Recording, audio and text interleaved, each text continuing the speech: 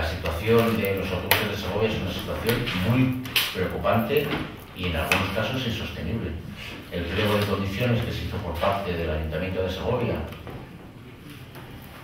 del equipo municipal socialista, encabezado por Señor Agüetes, fue muy malo, francamente malo.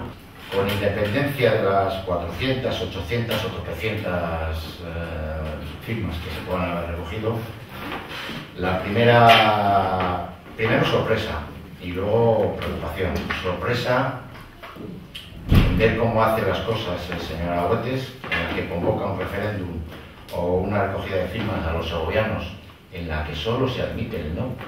Se ha producido una coacción en muchísimos ciudadanos de Segovia importantísima.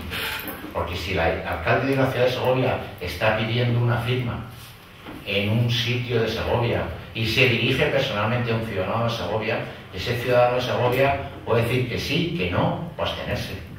Pero todos sabemos lo que supone no estar en la línea de o estás conmigo o estás contra mí del señor Arautes.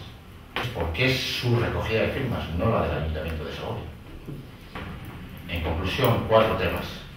En primer lugar, el menosprecio y el ninguneo. El segundo, el gasto ocasionado al Ayuntamiento de Segovia. En tercer lugar, la coacción. Y en cuarto lugar, la politización que ha hecho de las ferias y fiestas.